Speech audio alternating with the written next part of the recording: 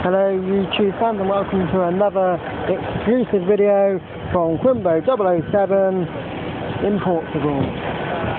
And as you can see, we are now at the airport. Just going to go back to Gatwick now, the UK. So, just going to collect the luggage and check the bag. So, thanks for watching my YouTube vid. And we'll be back in the UK for my next YouTube vid.